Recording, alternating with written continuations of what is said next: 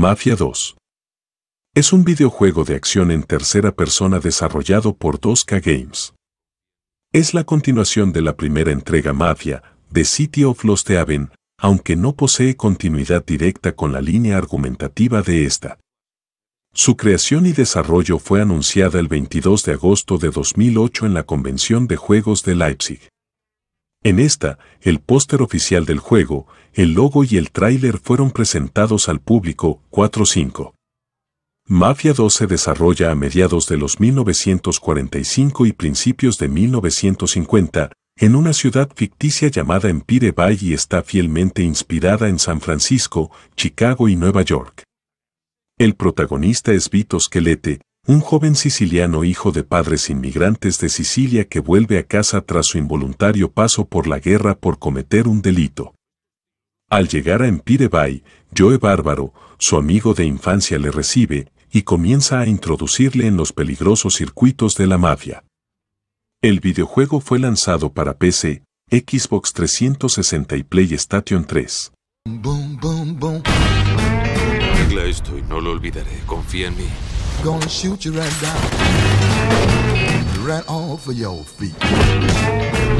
No hay mucha gente con agallas para algo así. Necesitamos a gente así. Mafia 3 En 1968, Lincoln Clark regresa desde la guerra de Vietnam a su hogar en New Bordeaux y se reúne con Sammy Robinson, su padre adoptivo y líder de la mafia negra, su hermano Ellis y el cura James Bayard. Lincoln decide ayudar a Sammy, que tiene problemas con la mafia haitiana, además de una deuda con Sal Marcano. Tras matar al cabecilla de los haitianos, habla con Marcano para decidir cómo cubrir la deuda. Este lo recluta para ayudar a su hijo Georgi a robar una sucursal bancaria de la ciudad. Cuando están en ello, los Marcano matan a Sammy, Ellis y Danny Burke, Lincoln también es disparado y se le da por muerto, pero James lo rescata. Lincoln contacta a su amigo John Donovan, un exagente de la CIA que lo ayuda y localiza a tres jefes del crimen, Cassandra, mafia haitiana, Thomas Burke, mafia irlandesa, padre de Danny, y Vito Skelete, que también buscan venganza contra Marcano. Lincoln comienza a apoderarse de los territorios de la familia Marcano, asignándolos a los tres socios, quienes poco a poco llegan a respetar su habilidad.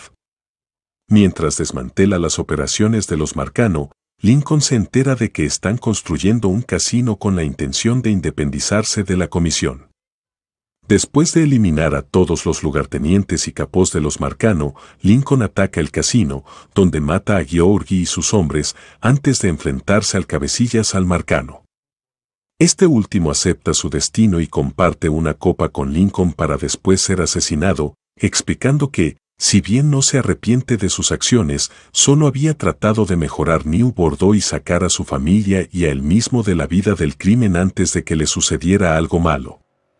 El conciliere Leo Galante es enviado a investigar lo que ha pasado y se muestra satisfecho de que la venganza de Lincoln haya terminado.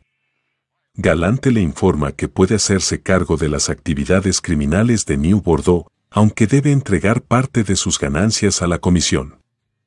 Las acciones de Lincoln generan una investigación del FBI dirigida por Jonathan McGuire, quien es entrevistado para un documental sobre la vida del protagonista, al igual que James y algunos otros que lo conocieron.